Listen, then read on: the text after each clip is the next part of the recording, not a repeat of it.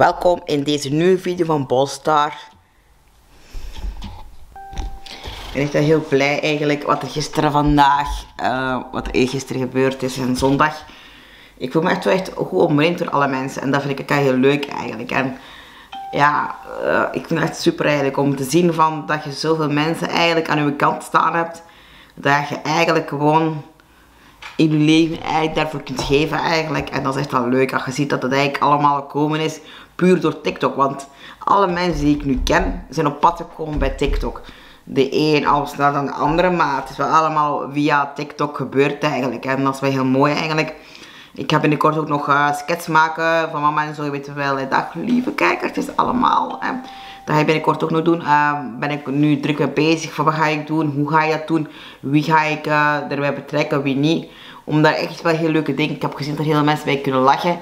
En ik ben van plan dat ik nog wel wat meer mee bezig te houden. Want natuurlijk met die corona is natuurlijk niet gemakkelijk. Um, dus het feit, ja, u kunt zeggen van ja, gaat je peterkind halen, er zijn wel leuke dingen mee. Uh, dat is zeker de bedoeling. Um, we gaan ook sowieso binnenkort nog eens naar een uh, speeltuin. Naar een andere speeltuin. De bedoeling is om op heel veel plekken te, te komen. Eigenlijk in Sinterklaas samen met hem te ontdekken. Um, dus we zijn van plan om andere dingen te gaan ontdekken eigenlijk. Ik kan met de fietskar ook overal komen. Er zijn heel veel dingen op ons pad. Um, dus dat ga ik allemaal doen met hem. Um, dus ja, voorlopig gebeurt er heel veel boeiend. Uh, maar ik vond het wel leuk zo met hem zo naar de post te gaan en zo paas te vieren en al die andere dingen. Ik heb gelukkig goede vrienden die af en toe langskomen, dat is eigenlijk al heel tof. Um, dus dat vind ik echt wel tof. De 25e komt er trouwens ook nog iemand langs. Ik ga geen namen noemen. Um, dat gaan jullie wel zelf wel zien in de vlog passeren. Onze vlog lopen nu iets van 2 à 3 dagen achter. In het begin loopten we echt wel 10 dagen achter. Maar um, doordat er af en toe niet kunnen vloggen is, uh, door wat er ook wat moeilijk is, zijn we eigenlijk zo'n heel stuk voorsprong kwijt. maar ik probeer wel zo veel mogelijk leuke dingen te doen zodat de quiz der quiz die komt morgen ook nog of overmorgen gaan te zien wat, uh, wanneer dat er iemand, uh, welke persoon er dan komt. Dus vanaf we weten welke persoon.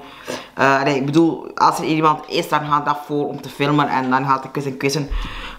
de quiz der quizzen gaat dan helemaal een beetje achteruit geduwd worden daardoor. maar het is allemaal leuk eigenlijk. Ik vind ook figuren heel leuk. Ehm, ik ben meer creativiteit eigenlijk aan het doen. Creatief, niet meer zo van echt zo'n een verhaal vertellen, maar meer zo, like wat ik nu heb gedaan, zo like hier bijvoorbeeld, ik ga het eens even laten zien. Hey lieve Plopsa koning, als ik naar Plopland kom, ben ik altijd met jou op de foto. En ik vind het zo cute en leuk, dat ik dacht van, vandaag is de dag dat jij in de kijker mag staan. Jij doet het zo super goed. Um, ik hou echt van het televisietje dat daar elke keer uh, rondop. Wat, je bent eigenlijk een beetje een televisietje. Uh, het verhaal er eigenlijk achter is dat jij dus eigenlijk alle Studio 100 figuren op het scherm brengt. En ik vind u echt super, super leuk. En uh, ik hoop dat ik u binnenkort terug mag knuffelen, vastpakken, op de foto gaan. Dus we love you, Plopsa Koning. En jij bent een topper en onthoud zeer goed. Want ik en uh, dat heb ik zo opgenomen en dat doe ik al vaker eigenlijk, dingetjes, ook wel dansen. Die hebben ook mijn vlag al gezien, die hangt ook gewoon op, die komt ook altijd in de live. Tenzij natuurlijk dat ik post, dan komt die natuurlijk niet in de live. Uh, wat ik wel merk is dat er tegenwoordig ook, wat ik ook even zeggen, heel veel valse accounts worden gemaakt. Heel veel, dat gaat over alles en nog wat. Uh, ik heb een hele lijst met uh, haat-accounts dat worden gemaakt. Um, ik vind dat totaal niet leuk. Um, totaal niet. Ik heb vandaag weer iemand moeten blokkeren. Maar het is echt niet meer te doen met die haat kans. Het is echt, uh, het is echt officieel over aan het gaan.